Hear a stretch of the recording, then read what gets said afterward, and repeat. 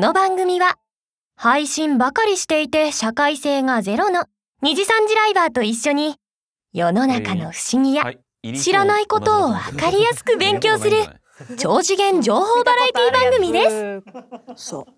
特にね。新年早々ディスられてさこっちはまだ2022年やっちゅうねん。言っちゃうんだことめたいこと言うね。もう疲れてんさこっちは 結構ボリュームあったよね。そうよ。今日三本撮りですからね。いやこれからさらにボリュームあるらしいよ。いや今日マジですらしい。あーお。まあね自己紹介してということで。マジっすか。はい。もうしょうがないな。あんまり変わらんで2023年になっても。やることは一緒。変わんないね。本当に。ちょっと変えてこう。手こ入れも大事ですよ。ということで早瀬そうです。はい。はい。明けましておめでとうございます。イブラヒムです。はい。明けおめ明けましておめでとうございます。天ヶ瀬めです了解トランサム八代気づくです。よろしくお願いします。もう俺の名前のボケまで拾ってくれるやん。さすが 永久やから。俺が早瀬拾さすがわないにからねさ、置いてもらったネタはね拾わないと。うわらしいわ。あまりにも名前ネタも拾わんしね。私た拾ちわんしねかわいそうだよ。申し訳ないです。ということで。頑張って5文字で考えて路る傍の石みたいな扱いしちゃう。たまにわけわからんのあるからね。そうだね。まあまあまあ新年一発目ということですけれども初登場の天ヶ瀬むゆちゃん。あーありがとうございます。来たかったですずっと。あ番組はい見たことはありますか、はいもちろんもちろん。あら。それこそおー。VTA 時代に研究してました。研究？研究？しなくていい番組取られるぞ。研究すようなねことないやですよ。取られてもいいし研究もしなくて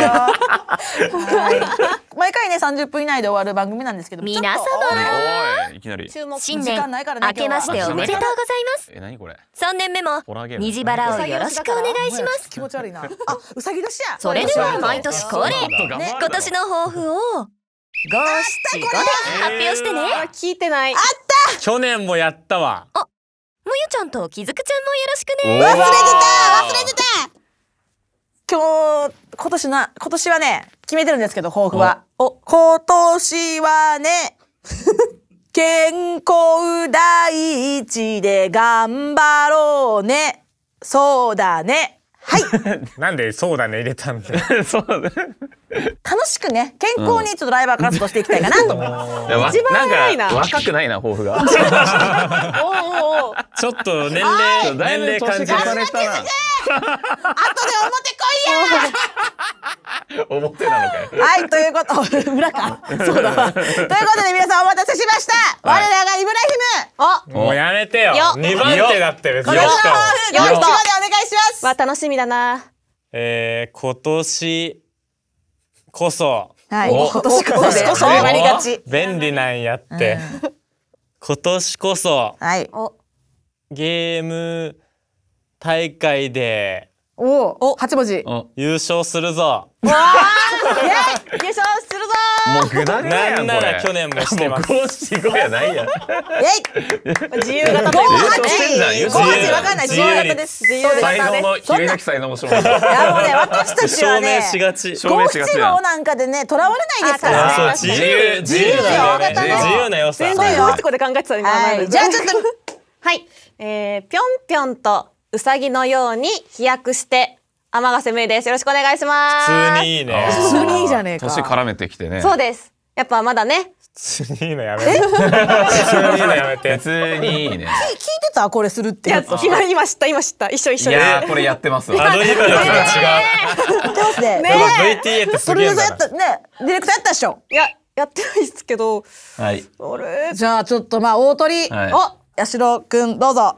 えー、やはり今年の抱負は、はい。はい。はい。まあ今年こそ。ね今年あれ？使いやすい今年こそ使いやすいはい自今年こそ。分主導のはい。企画する、素晴らしいいいね。いけいいでしょ素晴らしい。今までやってないから。そうよね。地味にね。全然やんないから。なんかちょっとは動く。素晴らしい。私とイブラヒムの以外全部良かったね。うん全部よかった。はい全部良かった。やだなもうこれもう来年もやんのかなもう嫌だ終わ割とらんのかな 力決めときましょうもう。それでは新年最初の学習テーはいマ発表です。なんだ？恐ろしい悪魔。ジビジビジビルだよビビリ3年目とかマジ？と年明けってことでやっぱ新年っぽいテーマやりたいよ3な年目か。三去年の年明けって何やってたっけ？今回はみんな大好き。ポテトチップスの作り方を勉強するわよ。今回の学習テーマは秋の味覚。さつまいも。なんで芋ばっかやってんだこの番か組 芋なんや。じゃあ今年も芋を使ったなんかを取材するか。おいいね。ああ？もっと農家もっと。元なんだよね。二次三次の B 級バラエティをご覧の皆様明けましておめでとうございます。前本圭介37リア歳ル。今年もよろしくお願いいたします。あよろしくね。お願いします。いや何しに来たんだよ。芋使ったもんを取材したいんだろ？はいはいはいはい。だったらこれよこれ。芋焼酎よ。最高じゃん。芋焼酎で有名どころって言ったらやっぱこの霧島だな。そうだね。聞いたことある確かに結構でっかい会社だよな霧島って。ろいろあるんだけど簡単に。取材させてくれたよでもう取材のアポも取ってあるから早速行ってこいよ。え？えー。前本下準備完璧。ということで今回はさつまいもが原料のお酒話芋焼酎を学習します。焼酎メーカー売上日本一を誇る霧島酒造さんにお邪魔して芋焼酎の作り方をがっつりお勉強していきます。でお前なんでこんな協力してくれんの？いや霧島って宮崎の会社なんだけどさ地元だと宮崎限定の焼酎とか珍しいやつが買えるらしいからお土産にどうか買ってきてほしいなーなんて思っちゃったりなんかして。あはい。さよなら。はい。というわけでね。はい。はい、ということで、今回は芋焼酎ということでございますけれども、うん。普段、え、え、だび、大丈夫？飲める？飲めますあ確かにね成人確かにはしてるの？あ一応半分妖怪なんで知的には大丈夫なんですけど、半分海の妖怪。汎用なんあで、汎的な問題クリアしてるみたいな。そうなんですよあなんで大丈夫なんですけど超越してんのか。うんじゃあ大丈夫やな。あありがとうございますあえ、飲んだことはありますかいや芋焼酎初めてですねあ、素晴らしい。そうなんだ。俺もほぼ初めてお酒自体はバカ強いんであ強いんだ。ざるなんや。素へえ。晴らしい。それもそうです VT で鍛えられて。あそんないやそう未成そんな年ダメだよ。顔もいるからダメだよ。サークル未成年の子もいるんでちょっとやめてください飲みサーじゃねえよ、飲み VT サーは。なめんな。やめてやめてまだいいんです。ちゃんとしてやめて。そうだ。みんな頑張ってんだ。まあまあまあそんな感じでね。まあまあまあまあ八代くんはね、はい。まあ聞くのな聞くのもまあ野暮ですけども。あまあまあ、まあ配信とかじゃ飲まないですけどね、最近は。うんまあ裏ではもう毎日、あエブリデイエブリデイ、毎ほぼ毎日、一時期やめてたんですけど、うんやめれなくなった。ちょっとダメだよそれ。弱いね。よくないよ。頼ってんだ先に。いや、そうよくないよ。よくないよね。うんダメだよ。うん。イブは？俺はねあんまり焼酎とかは得意じゃないんだけど、ん。まだ飲めないこともないし結構前回なんか飲んだ酒も美味しかったから美味しかったね。自腹で飲んだやつがあるんだけど。前日本酒か。そう日本酒のそうやチがあったんですよ、あったあったあった、うん。その時なんか普通に飲めたから、まあ楽しみっすね。そうだね。はいまあまあまあまあちょっと見ていこうよじゃあうん。VTR ね、はい。楽しみ。早く飲ませ行ろそれでは虹腹調査開始。VTR スタート。相数ガビガビ。芋焼酎って鹿児島のイメージだったけど霧島って宮崎で作ってんだなそれじゃ早速宮崎行くか。絶対うまい焼酎待ってるよ。予算がなかったんかな まあ十分や。ろジェットスター。到着宮崎県都町。ちなみにあんなのが霧島山ってらしいぞ。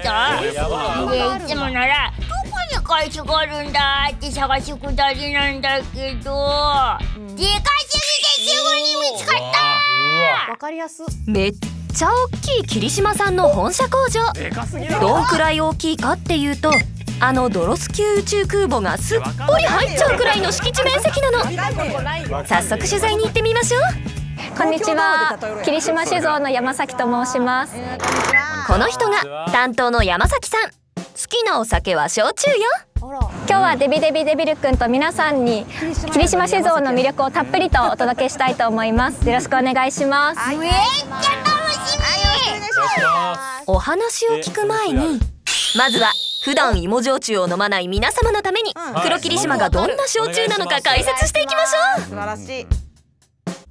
霧島酒造株式会社は1916年創業の老舗酒造会社。全国に芋焼酎を販売し日本の焼酎メーカー売上高ランキングでは10年連続ナンバーワンを獲得するまさに焼酎界のトップに君臨する大企業なの主力商品である黒霧島は黒麹と呼ばれる昔ながらの麹菌を使用して醸造された本格芋焼酎で食に合う焼酎をコンセプトに開発。斬新なプロモーションを構想し人気が爆発。コクとキレを両立された味わいで女性にも支持を得て今や日本はもちろん世界25カ国に輸出される超絶無敵最強人気芋焼酎なの。わかった？ちなみに黒霧島って1998年発売なんですって。きずくちゃんどう思う？いや意外と最近ですね。意外と最近だねというふうによく言われます。もうきずくちゃんのボンプ思考盗聴されてる思考盗まれてる俺の。おもろ。やばすぎる。素で思ったんだって。黒霧島のロックです意外と最近だと思ったいや本当に。もっと前から。なんか60年代感じしたけど普通芋焼酎というふうに聞くと芋臭いっていうイメージを持たれる方が多いと思うんですがこの黒霧島は芋焼酎らしさがありながらも癖がなくてすっきりとして飲みやすい焼酎になっているのでどんな食事にも合わせやすい焼酎になっています。ね確かに宮崎ってうまいもんいっぱいだし焼酎と一緒に食いたいな食べてじゃあ今から軽く飲み行くかいやいやその前にまずは工場見学をご案内したいと思いますので一緒にどのように焼酎ができるのかを学んでいきましょう。それじゃいよいよ黒霧島の作り方をお勉強していきます。はいじゃあデビデビデビルくんあの焼酎の製造工程に一緒に向かいましょう。行く造するか私の家で。まずは材料のお芋の搬入ね。自分で作るかあそこに見えるのが黄金千貫というさつまいもです。主に黒霧島や白霧島で使われているさつまいもになります。でんぷん質が豊富で焼酎作りに適したさつまいもです。ちなみに霧島酒造さんが1年間に使うさつまいもはなんと約10万トンへわかりやすく例えるとイブラヒムちゃんが標準体重の68.9キロだと仮定した場合、はい。10万トンのさつまいもはイブラヒムちゃん145万人分くらいってことなの。これは滋賀県の人口を超える人数ということだからつまり県民全員がイブラヒムの滋賀県民より霧島酒造のさつまいもの方が重たいっていうことなのね。とってもわかりやすかったでしょ？わかりやすいな仕事が搬入されたさつまいもはベルトコンベヤで運ばれて全自動芋洗いマスインできれいに洗浄。いいね。その後汚れや痛みがないか丁寧に選別していくの。こういう作業は人力なんだなに美味しい焼酎をお届けするために最終的にはどの目で見てあのカットしたり選別を行ったりしています。早いな。そんな早くカットここで皆様にあもうクイズ？なんだ？焼酎を作る過程で出てしまう芋くずや焼酎かす。え？霧島酒造さんはこれをある意外な方法で活用しているの。それは何でしょうか？うんえ？芋だよね。芋から意外なやつ。意外。ってことはまあなんか家畜にあげるとかではないのかな？そうなんか肥料とか。家畜とか。まうん。あ結構その辺は想像できるもんね。いやでもさっき言っちゃったんだよな、えー畑？そう畑はねまあ肥料系だとか。肥料系だとか。意外じゃないじゃん、そうですね。うん、ありがちだよね。はいはいはい。おおはい。もう一回植えたらあやるうわそれなんじゃん じゃない？無限ループ。じゃあ違あ無限ループ。うだってなんかさ玉ねぎとかもさ目出るから、うん。そう。無限じゃない芋焼酎編？もう一回埋める正解です。正解。正解です。やったー助かった。正解は？さつまいも発電でした。電気？この芋くずと呼ばれるあのものが1日15トンほど出るんですけれどもあと上流の工程で出てる焼酎かすというものは霧島酒造のリサイクルプラントというところでメタン発酵をして最終的にメタンガスに変える活動をしています。工場のボイラー燃料として使ったりですとか発電をして電気に変えてあの地元の電力会社さんに売電をしたりして循環型の焼酎作りを行っていますちなみにこの霧島酒造さんの車用車もさつまいも発電で動く電気自動車なの。むゆちゃん、もう一問クイズに挑戦よ。問題、この電気自動車の名前は何でしょうか？その通り大正解。キリンゴでした。可愛いでしょい。いね。さてお芋が無駄にならずに安心したところで選別が終わったお芋はさらにベルトコンベアで運ばれてでっかい蒸し器で1時間かけて蒸し上げるの。実はさつまいもが取れる時期は8月から11月で限られているのでこの時期に1年分のさつまいもを蒸しています。この時期に1年分のさつまいもを冷凍しておくことで芋焼酎の安定した供給を可能にしているのよ。この時期が一番む忙しいってことね。分子とか一年分取りためしておけば楽それができたら苦労しねえん。だよしかしそれは契約者に対して誠実なことなのだライバルチームも生きる価値を何言った言ってんだこいつは。芋焼酎作り。はいじゃあデビルくん芋焼酎作りに欠かせないもう一つの材料をご紹介したいと思います、はいえさつまいもだけじゃないの実はこちらです。うわうわええビー米だ米だ今この工程は蒸したお米に麹菌をまぶして米麹を作っている工程ですここで使われているのが黒霧島の名前の由来にもなった黒麹出来上がった米麹と水酵母を混ぜたら発酵させて一時もろみを作るの。この辺は第5話でやった日本酒の作り方と似てるわね。そうね。あ2年前のことをそうちゃんが覚えてるわけないか。はい次次。さっき蒸したさつまいもを砕いてお水と一緒に混ぜたら。覚えてるよね。さっき作った一時もろみに加えていきます。逆にね。この大きなタンクの中で8日間発酵させるんだけどうわシュルキ地獄の釜かよってくらいポコポコいってる今焼酎で酔っ払い。しわ一つのタンクあたり一升瓶換算で1万本分の焼酎ができます。えー。毎回数字でかすぎて毎回ピンとこない。な数字その計算さあ焼酎作りもいよいよ佳境。次は蒸留ねそもそもなんだけど上流って何なの？焼酎は蒸留酒と呼ばれる分類に入っているんですけど蒸留という工程はさっきの 虹もろみもろみに含まれるアルコール分を まず蒸気を当てて水蒸気にします。でその後に冷却をして液体にすることで黒霧島の原酒が出来上がります。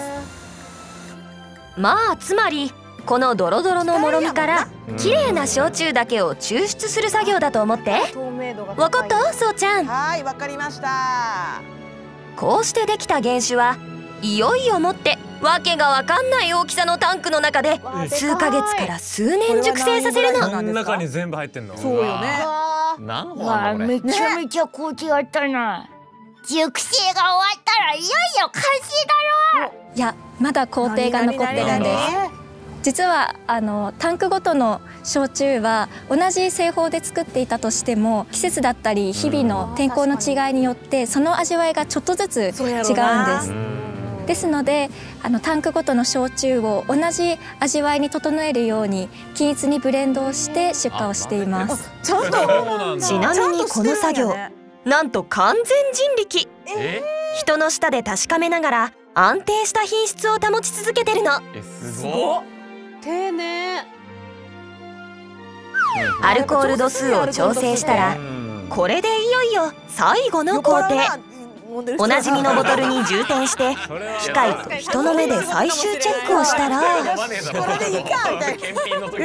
これで黒霧島の完成です。いいか私。とろっとキリッと黒霧島すっごく手間がかかった商品なのね。リーズナブルな値段で以上工場見学でした。お勉強になったかしら。相当安いいやー盛りだくさんだったな。ここって他にもいろんな酒作ってんだろ。はい、霧島酒造はいろいろな味わいの焼酎を揃えていますので、では持ってきたいと思います。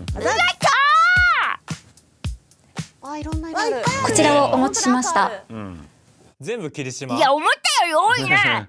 そうなんだよな。しかもこれ霧島だけでこんなにあんだ。すごいね。私も全然知らんわまだまだこれだけじゃないんですよ。こちらです。やば強そう。なんだそれ？何それ。色がこちらが金霧島、国宝霧島、AX 霧島という商品です。で、霧島酒造の中で一番高いお酒がこちらです。これは玉金霧島と呼ばれるお酒です。次々出てくる霧島。揃えてもらっただけで11種類。これ全部を紹介してると2時間特番になっちゃうから。全部スタジオに用意しました。気になるものから飲んでみて自分にぴったりの霧島を見つけてね。スタジオの皆さんもぜひ霧島の商品楽しんでください。嬉しい。来た来た来た。もう最高の番組じゃん。おいどうしたんだよこの番組。B 級ですよね。S 級番組や。S やこれ。みんなごめんいやーでもね VTR 見たんだけど、うん。まあ酒造りは良かったな単純じゃないと思ったけどもう完全になんかもうレーンが決まっててやり方とかねそうね。規模最後もでかくて、のね、やっぱ自分たちで調節するっていうのでこのお値段っていうのがやっぱ衝撃的だね。そのお仕事したいですね私。いやだから俺テイスティング絶対絶対そんな不純なやつには務まらない。あれは普通に厳しいね。誇りがある仕事だから。ね大変な仕事ですからね。そのサブでいいから私その人見てる人なめんなよ。はいちょちょ いらねえだろ 別に。全部うめえって言うだろ。いいんじゃないですかって。まあでもうめっっていう。やっぱ人の力はどこでも必要なんだね。やっぱりあんだけでかくてもね。そうですそうよ。ね。いやー素晴らしい感想が出たところではい。もう用意してもらってるみたいなので早速飲んでいきましょう。おやった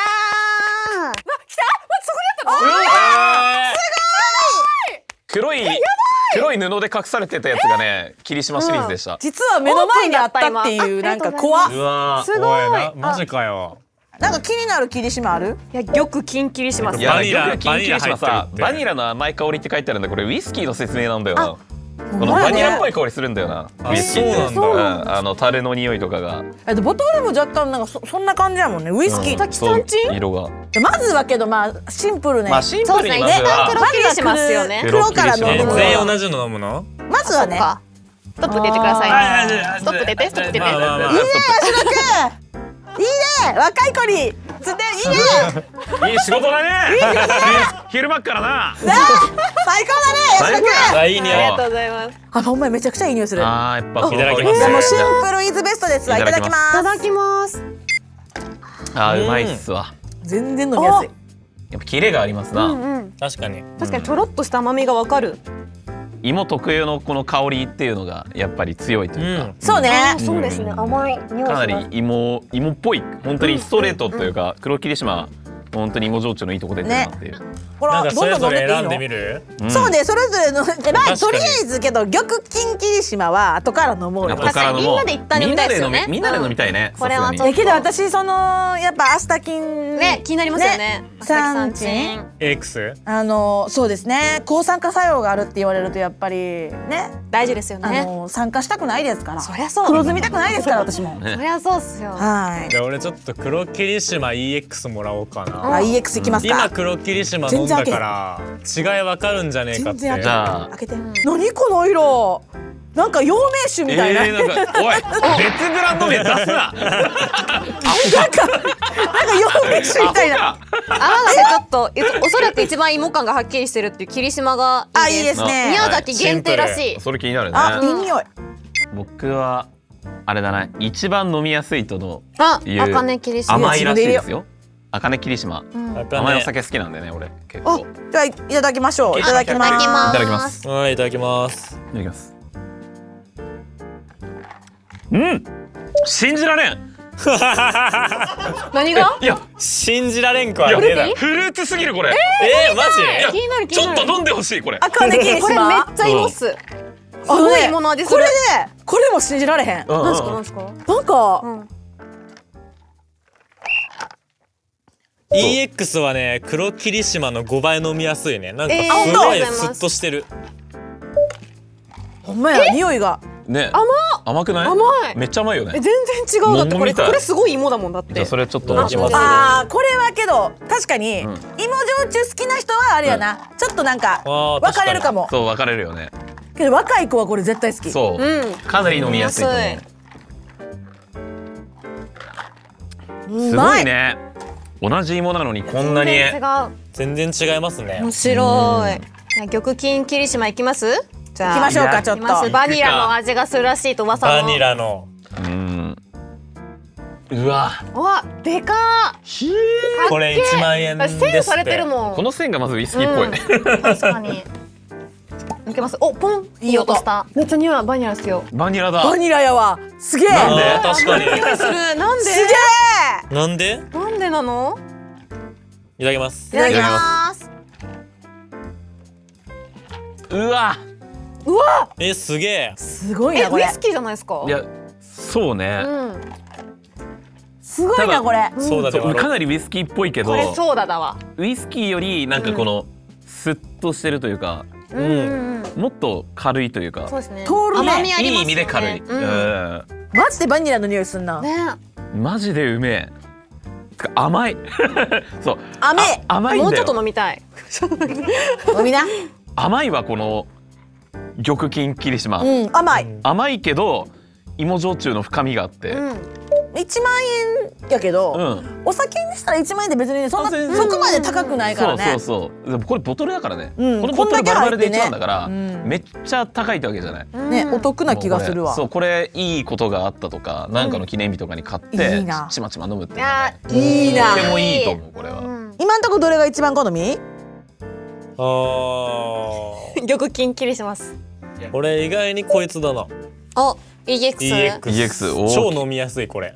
マジ？気になる。あれな何やったっけ？あのすごいおいあのフルーティーなやつ。あフルーティーですあ赤根霧島ああ、金霧島かな私。美味しかった。飲みやすかったうん。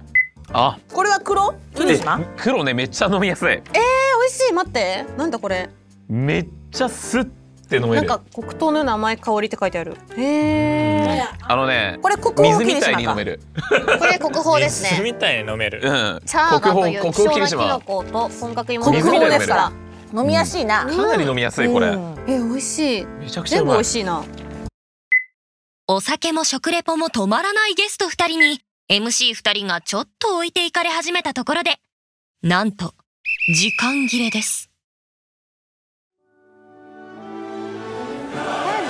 次回の B 級バラエティーは1月の末にもなってまだまだ新年会スペシャル霧島の美味しいアレンジレシピに宮崎の美味しいグルメも続々登場そしてスタジオに乱入者が？なんだ誰の許可入って飲んでんのやめろよ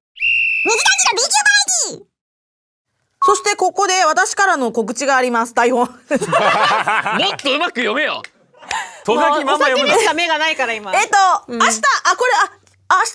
私の、あ、1月11日。お。日付的にはもう今日やな。はいはいはい。私、ハイソーの CD が発売されます。どんな曲なん？フォーカスを。フォーカスオン。かっこいい。かっこいいまあ私が歌ったら全部かっこよくなるの当然なんですけど。まあ確かにな確かに。確かにうまいもんな。かっこいい。ノリノリに弾けれるナンバーになってますので、素晴らしい。ぜひね首都高とかで聞いていただきたいな。運転中にね。なんでなんでこのポーズにしたの？なんでこのポーズにしたの？なんでこのポーズにしたんですか？ジャケ写。ちょっとおっぱいをちょっと主張し。そうでしょ？ちなみに。はい。お姉ちゃんの友達のスオサンゴちゃんの CD も1月25日に発売されます。この世で一番可愛いスオサンゴちゃんの最高の歌声を。ぜひ。聞いてくださいね。一番かっこいいと一番可愛いが揃いましたから。確かに確かに。1月11日と1月25日でございますのでね、ぜひね、お忘れなく。はい、お前たち漏れなく買え。はい。一人10枚ずつ買え。はい。うん。はい。当た。り前だよな。握手はできないけどな、うん。ちょっと。よし。